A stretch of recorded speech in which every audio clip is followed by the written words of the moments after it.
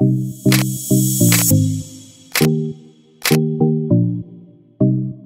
Assalamualaikum warahmatullahi wabarakatuh. Ketemu lagi dengan saya di channel vlog berita. Oke teman-teman, hari ini tuh ada kabar berita dengan judul Gara-gara video perselingkuhan dengan Angel Spang viral. James Arthur Konjongian harus disidang oleh Badan Kehormatan DPRD Sulut.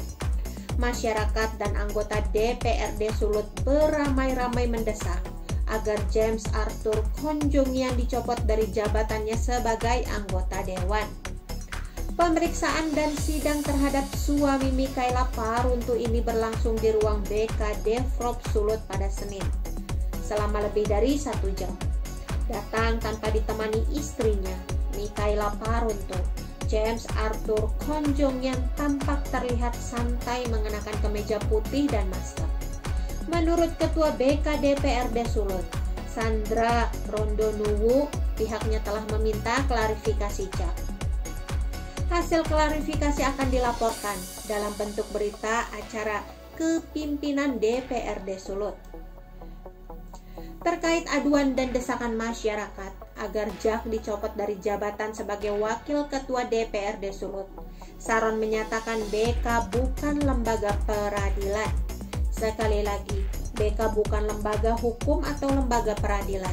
Setiap laporan kami selidiki, verifikasi, dan klarifikasi katanya. Meski demikian, Saron bilang ancaman sanksi menanti James Arthur Konjongian bisa berupa teguran lisan, teguran tertulis hingga pemberhentian. Sidang di badan kehormatan ini jadi nasib apes James Arthur Konjongian.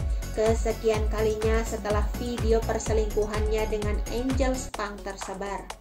Apalagi sebelumnya James Arthur sudah lebih dulu dipecat oleh kakak iparnya, Teti Paruntu. Beberapa hari yang lalu, James Arthur Konjong yang dipecat dari posisi ketua harian DPD 1 Partai Golkar Solo. Mengetahui nasibnya terancam, James Arthur Konjong yang berstatus politisi Partai Golkar itu pun berani menampakkan wajahnya di hadapan media. Setelah itu, Suami Mikaela Paruntu ini langsung meminta maaf atas apa yang terjadi mengenai desakan agar dirinya dicopot sebagai anggota dewan. James Arthur Konjongian memohon-mohon agar ia diberi kesempatan kedua. Mantan ketua harian Partai Golkar Sulut ini mengatakan, persoalan yang terjadi dalam kehidupan rumah tangganya sangat luar biasa Suami Mikaela Elsiana Paruntu ini bilang kehidupan rumah tangganya sudah baik. Saat James Arthur Konjongian sedang terancam dicopot dari jabatan pemerintahan. Sang selingkuhan yakni Angel Spang terlihat pamer kondisinya terkini. Dalam sebuah video yang diposting beberapa akun Instagram, Angel Spang malah terlihat tak terpuruk pasca dilabrak istri sah pada minggu malam. Terlihat pada video singkat, Angel Spang pamerkan tawanya saat menelpon seseorang. Sadar kamera menyorotnya, Angel Spang menunjukkan jempolnya tanda sip sambil tersenyum. Akan tetapi, dari ekspresi semringah Angel Spang, ada aksesoris yang menyorot perhatian.